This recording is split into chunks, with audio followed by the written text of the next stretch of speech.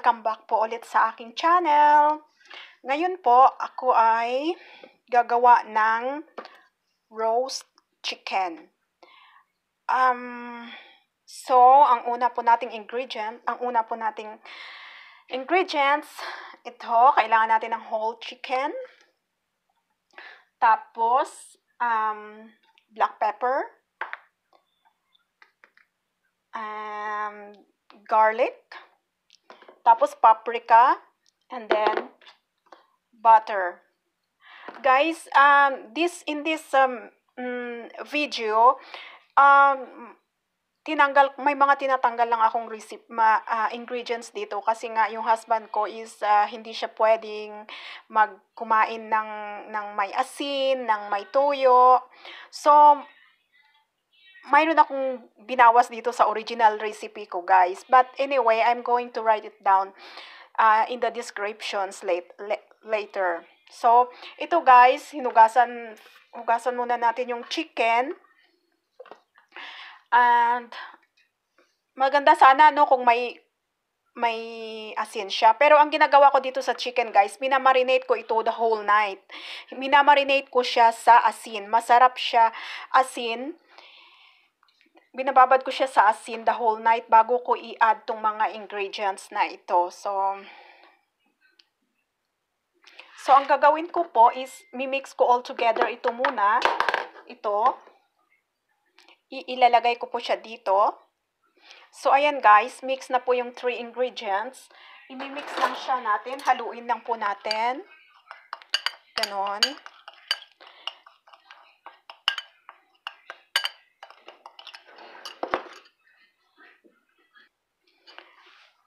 So, I already mix it, guys.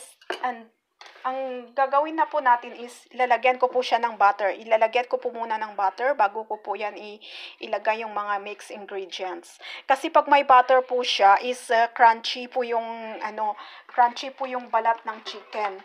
And then, imamarinate ko po yan siya ng whole night.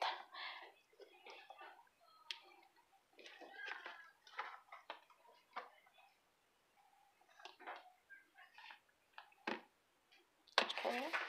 So, para mas masarap, sikreto dyan, kamayin. Yan, imimix lang po siya. Para yung butter is totally mix. Yan. At saka ano po guys, dito sa loob niya is naglalagay ako dito ng onions at saka ano, ano nga pala, onions at saka yung lemon. So, ilalagay na po natin ito para magkakulay lang kasi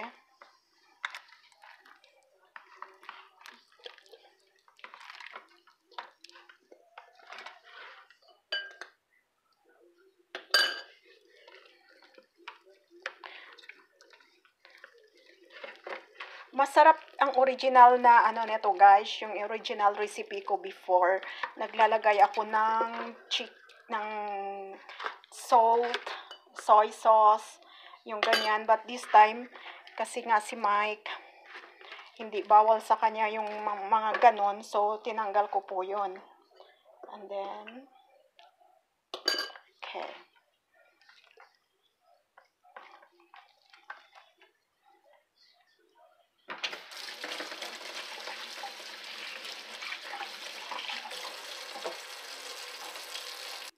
So, i-add na po natin yung isang onion dito sa loob niya. Dahil wala akong fresh na onions, na onions, na lemon, ang gagamitin po natin is frozen. Okay? So, ayan na guys, as you can see, maganda rin kung mayroong ano, um, lemongrass. So, yan guys, nilagay ko na yan dyan sa loob niya. Imamarinate po natin siya ng whole night.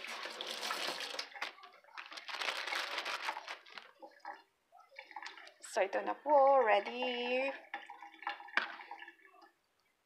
So, ayan siya guys. Kakover natin siya ng cling wrap.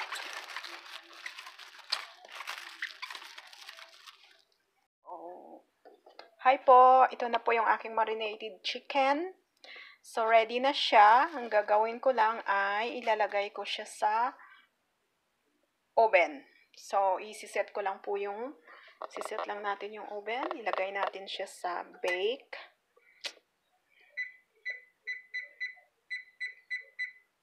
Lagay ko po siya sa 395 at antayin mo nang mag-uminit.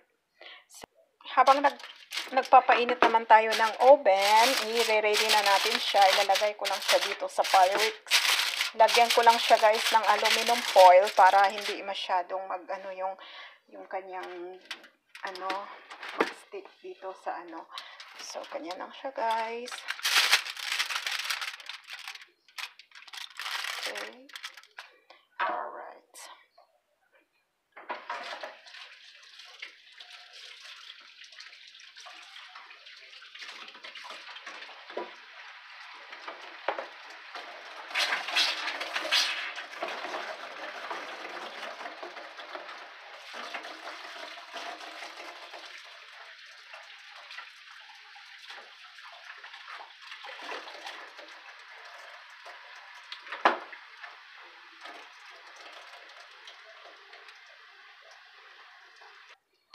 Hi guys, nakakita pala ako ng lemongrass or tanglad. So, ilalagay ko po siya ito sa dito. Lagay natin. Lagay po siya natin doon sa loob para bumango.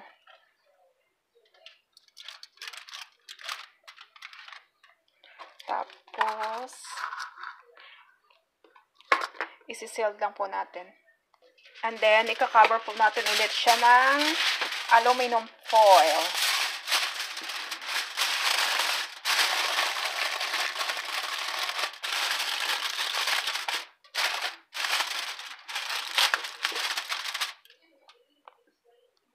So, ayan guys, ready na siya.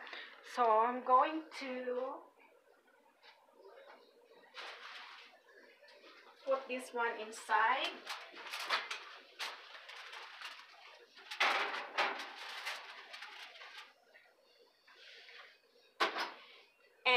and bake it bake it for for 1 hour and 15 minutes. So i'm going to set the timer here.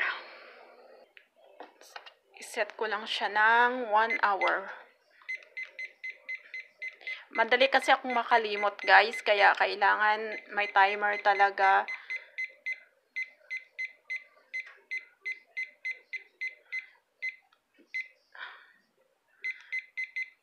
Oops.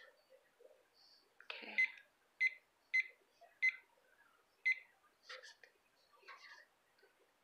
Okay. There you go.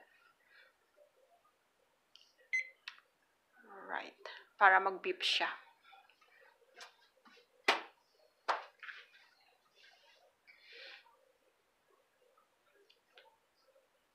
So guys, ayan po siya. Ganyan na. Ibabalik ta rin ko lang kasi sa baba. Hindi pa po yan ready.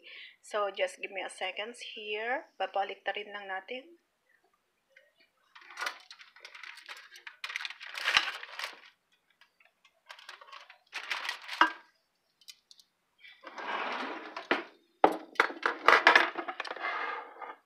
Alright, at ipabalik natin ulit siya doon sa oven. So, there you are, guys. Yan na po yung aking roast chicken. Kita nyo, napaka-crunchy niya. Okay. Yan siya, guys. Alright.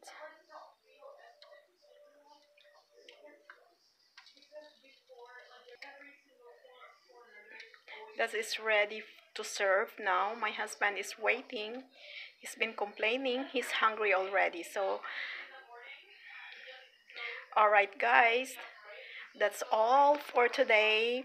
Please don't forget to like and subscribe to my channel. Please. Thanks, God. Thank, thanks, guys. Thanks for watching. God bless everyone.